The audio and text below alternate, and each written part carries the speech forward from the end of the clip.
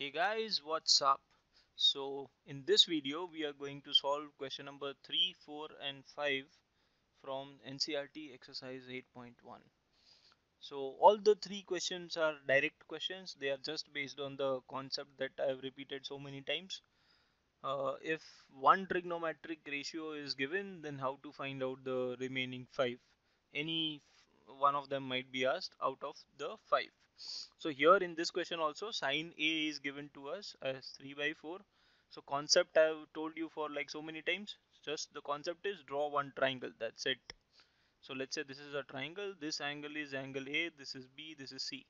Now sine is given as 3 by 4. Sine is opposite by hypotenuse. So opposite side will be 3. Hypotenuse will be 4. Right. So what will be this side? We need to find that side AB. AB will be under root of 4 square minus 3 square. So this we can solve by doing 4 minus 3, 4 plus 3. So that will be under root of 7. So this side we will get it as root 7. Now in question they are asking find the value of cos A and tan A. So cos A, what is the definition? Cos is adjacent divided by hypotenuse. So adjacent side is with respect to angle A we are seeing so adjacent side is root 7 and hypotenuse is 4. So answer for cos is root 7 by 4 and tan A the definition is opposite divided by adjacent. So opposite side is 3 adjacent side is root 7. So answer is 3 by root 7. That's it for the third question. Now let's see question number 4. Question number 4 also cot A is given to us as 8 by 50 and what is the definition of cot we know the definition for tan right? Which is TOA so opposite by adjacent. So this will be this will be reverse of that adjacent by opposite. So adjacent side you can take it as 8 so let's mark this angle as angle A. This is let's say B this is C this is 90 degree. So oh, okay sorry for this. Uh, yeah so we can mark the sides here which is the adjacent side. Adjacent side will be 8 opposite side will be 15 so we need to find out side AC so AC will be under root of 8 square plus 15 square.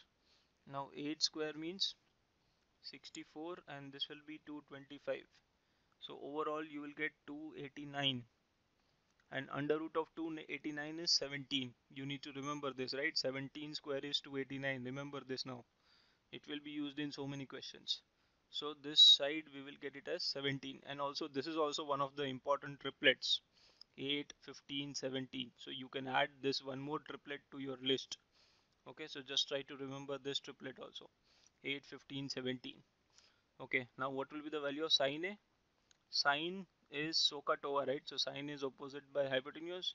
So with respect to angle A we are seeing remember so opposite side is 15 and hypotenuse is 17 similarly what is the value of sec sec will be the reciprocal of cos right? So what is the definition for cos a? Let's first find out cos a. Cos a is adjacent divided by hypotenuse. Adjacent side is 8 hypotenuse is 17 so sec will be the reciprocal of cos so 17 by 8 is the answer. Fine, very easy. Again, fifth one. Fifth one again sec theta is given to us as 13 by 12.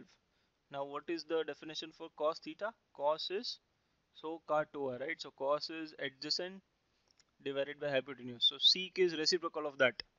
So this will be hypotenuse divided by adjacent.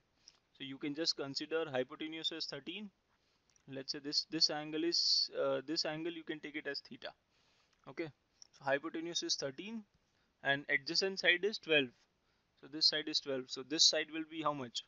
We can uh, like you can recall the triplet. Triplet is 5 12 13 so this side will automatically come out as 5 if you use Pythagoras theorem right? So now we need to find out the value of all other trigonometric ratios. So first of all let's find sine theta sine theta the definition is opposite divided by hypotenuse. So opposite side is 5 with respect to angle theta we are seeing remember okay? So opposite side is 5 hypotenuse is 13 so what will be the value of cosec theta now? If we have sine theta cosec is just reciprocal of that. Then cos theta sec theta is already given. So cos theta will be reciprocal of that. So 12 by 13 we can say. Now what will be the value of tan theta tan theta is opposite divided by adjacent. Opposite side is 5 adjacent is 12 and cot theta will be reciprocal of that. So 12 by 5 understood all the three questions. Yes. So that's it for this video. See you in the next video. Take care. Bye bye